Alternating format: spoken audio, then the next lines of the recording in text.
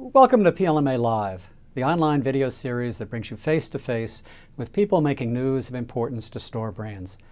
I'm your host, Tim Simmons. Whether we like it or not, what goes on in Washington, D.C. can have a big impact on the retailing and manufacturing of private label products. This is especially true this year, with so many changes taking place at the White House and on Capitol Hill. This month, we're getting a real insider's perspective on what's ahead in Washington. We're talking with Erik Winborn, a former Walmart executive, who now tracks government activities for PLMA as well as manufacturers and other trade associations. Erik, welcome to PLMA Live. President Obama has just announced a major program to eliminate unnecessary business regulations. What's your reaction? Well, I think this is very positive for the business community and for the members of PLMA, and it reflects that the, the White House administration will be much more pro-business over the next two years. How long will it take for this new pro-business approach to become evident? I think we've already seen it. Uh, you know, we had the tax compromise at the end of the year, and uh, he worked with the Republicans to, to extend the Bush tax cuts, and so uh, uh we're already seeing compromises in place, and the full impact won't be uh, known right now, but uh, it is very positive. Has the pro business message gotten through to the entire Washington bureaucracy? Oh, I think the message has already gotten through. And uh, you know, that's also evidenced by the fact that uh, uh, President Obama has a new chief of staff, and uh, that's Bill Daley, who was the Secretary of Commerce during the Clinton administration. And uh, he was very pro business during the Clinton administration. And I think you'll see him do the same thing now over the next two years. Are you seeing the same business friendly approach in Congress? Congress is interesting because uh, you know in the, in the, House you have a Republican House, as everybody knows. Uh, Speaker Boehner is very pro-business, and the Speaker controls all legislation that goes to the floor of the House. And so the business community can be assured that they'll be heard when legislation goes forward. Out in the Senate, the Senate is still in Democratic control, but uh, uh, Majority Leader Reid has already said the three priorities for him over the next two years will be the economy, energy, and education. And so if the economy is the number one issue for the Democrats in the Senate, once again, that's good for the business community. Now let's look at some of the regulatory agencies. What's happening at the Food and Drug Administration? Interestingly enough, the FDA uh, will be in for some changes as well.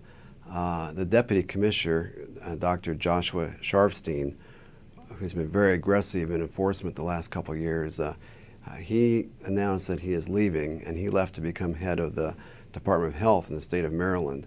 And his successor hasn't been announced yet, but I think at the FDA you'll see a more business friendly FDA and maybe less confrontational. And the FDA, uh, over the last two years, also worked closely with uh, the Democratic House on oversight of companies.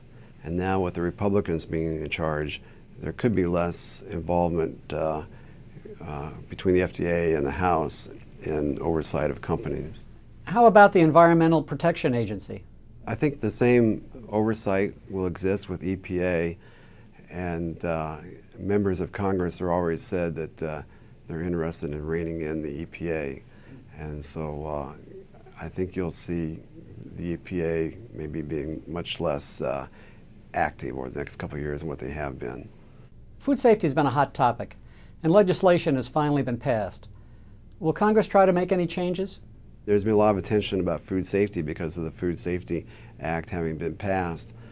Uh, and, and, what happens when Congress passes a major bill like that, they like to move on. And so, as much attention as people think there'll be in Congress on food safety, I don't see much being done on food safety, except if, if a company is selling tainted food, they're much more likely now to be brought before a committee and have to testify and then be subject to a congressional investigation. So I think you'll see Congress being more rigorous in going after bad actors, but overall, I don't see any legislation on food safety. What's the outlook for new legislation on OTC products? OTC is in a good position on Capitol Hill for a couple reasons. Uh, one is uh, there's a better realization that OTC saves money and provides value to consumers and also helps people's health. And in the Energy and Commerce Committee on the House, which has jurisdiction over many OTC issues, uh, the chairman of that committee, Fred Upton, is also the uh, the member of Congress for Perrigo, which is one of your members, you know, he's very attuned to OTC and very supportive of the industry. And on the Senate side, Senator Tom Harkin from Iowa, who's the, the Democratic chairman of the Health Education and Welfare Committee, he's also very supportive of the industry. And so the OTC industry is in a good position on Capitol Hill. Finally, what advice can you give to business people who want to become more active in Washington? I recommend that the PLMA member get to know his or her member of Congress and have that relationship. And then naturally they have the relationship, it's much easier to later go talk to them about a specific issue and get help. And uh, all the members should remember that elected or Congress, the member of Congress is elected to represent them and is there to help them uh, with the executive branch and also on Capitol Hill. And then one way to learn more about Congress and, and one way to meet your member of Congress would be uh, to participate in the PLMA conference in uh, Washington, D.C.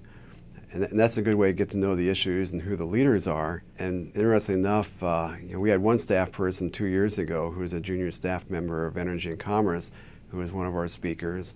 And now that staff person is one of the most senior members of the House Energy and Commerce and has jurisdiction over almost all the issues that affect uh, PLMA members.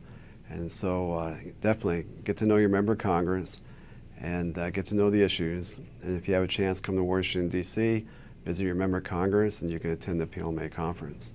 Thanks, Erik, for giving us an insider's perspective on what's really happening in Washington. And thank you for watching this edition of PLMA Live. And join us next month for another exclusive interview.